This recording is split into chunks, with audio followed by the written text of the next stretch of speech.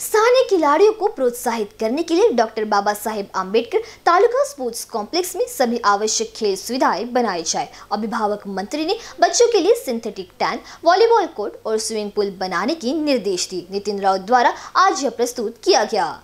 जरीपट का क्षेत्र में डॉक्टर आहूजा नगर डॉक्टर बाबा साहेब आम्बेडकर खेल परिसर राउत ने निरीक्षण किया और संबंधितों के साथ चर्चा की।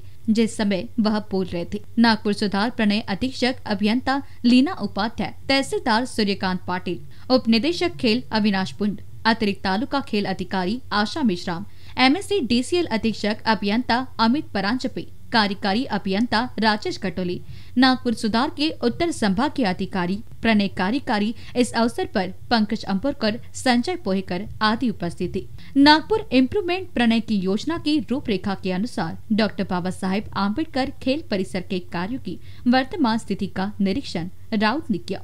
परिसर में बच्चों के लिए विशेष कक्ष की स्थापना की जाए, ताकि बच्चे कम उम्र से ही विभिन्न खेल सीख सके। साथ ही उनके लिए एक छोटा स्विमिंग पूल बनाया जाए। परिसर में 200 मीटर रनवे का नवीनीकरण कर यह सिंथेटिक टैंक भी बनाए। उन्होंने सुझाव दिया कि एक बॉक्स ऑफ़िस, एक वॉलीबॉल कोर्ट और टेबल टेनिस के लिए एक अलग अलग कार्यालय स्थापित किया जाना चाहिए और परिसर के लिए एक अच्छी तरह से सुसज्जित कार्यालय स्थापित किया जाना चाहिए।